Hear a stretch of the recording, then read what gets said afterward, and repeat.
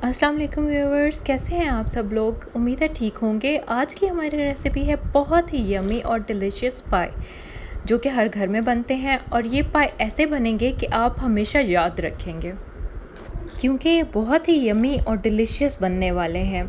तो चलिए recipe start करते हैं। सबसे पहले हमने एक पतीला लेना है और उसके अंदर कुछ इंग्रेडिएंट्स मैं आपको दिखा रही हूँ। वो डालेंगे बट पहले, सबसे पहले हम पाए साफ़ किए हुए और नमक लगे लगा कर साफ़ किए हुए इसके अंदर डाल देंगे, अच्छी तरह से धुले हुए। उसके बाद उसके अंदर हमने पानी ऐड करना है। पानी इतना ज़्यादा ऐड करना है कि अच्छी तरह से भीग जाए। पानी डालने के बाद हमने चूल्हा चला देना है और चूल्हा चलाने के बाद हम इसमें बहुत ही सिंपल से दो चार इंग्रेडिएंट्स हैं, वो डालेंगे और फिर इसको उबलने के लिए तीन चार घंटे के लिए हल्की आँच पर छोड़ देंगे।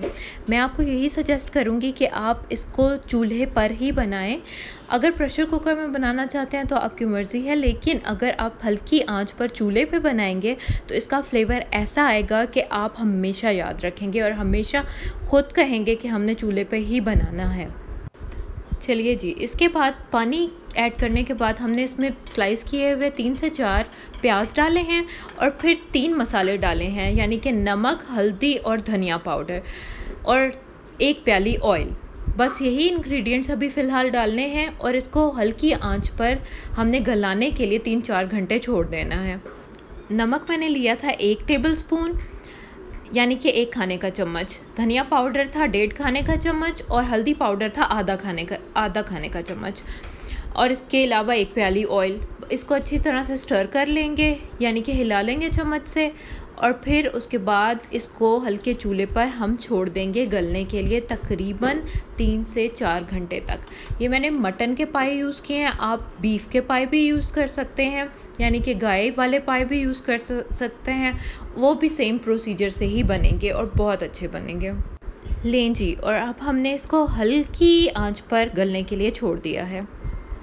पाई गल जाने के बाद नेक्स्ट स्टेप हमारा ये है आसान सा कि हमने इसमें रेड चिली पाउडर ऐड करना है, वो भी पाई गल जाने के बाद। पाए जैसे ही गल जाएँगे, आप चेक कर लीजिएगा कि गल चुके हैं ठीक तरीके से या नहीं। उसके बाद आपने चूल्हा बिल्कुल तेज़ करके उसके अंदर सुरख मिर्च पाउडर डाल देना है, एक खाने का चम्मच। सुरख मिर्च पाउडर डालने के बाद इसको आपने तेज़ आँच पर ही हल्का सा भूनना है। जैसे ही इसका ऑयल ऊपर आने लगेगा, यानी कि भुनाई होने लगेगी तो आपने इसमें अपनी मर्ज़ी की ग्रेवी जितनी, जितना सालन रखना है, उतना पानी डाल देना है और फिर इसको रख देना है पंद्रह मिनट दम के ऊपर। लें जी, हमारे सारे स्टेप्स कंप्लीट हो चुके हैं। अब हमारा लास्ट स्टेप एक ही रह गया है, जो कि ये है कि हमने इसको दम पर रखना है। दम पर रखना है हमने इसको पंद्रह मिनट के लिए हल्की आँच पर ढक कर, और उसके बाद हमने चूल्हा बंद कर देना है और हमारे यमी से पाए तैयार हो जाएँगे।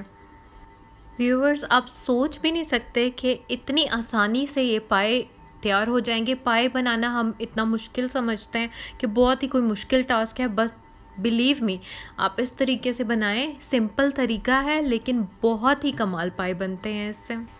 एक दफ़ा इस रेसिपी को ट्राई करके आप पाए बना के सबको खिला दें, वो सारे आपके खानों के फ़ैन ही हो जाएँगे, जो भी ये टेस्ट करेगा।